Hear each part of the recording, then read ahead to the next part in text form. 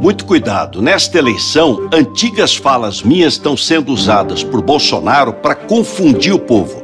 Naquela época, muitos de nós fomos iludidos por um julgamento que depois a própria justiça anulou porque foi parcial e suspeito.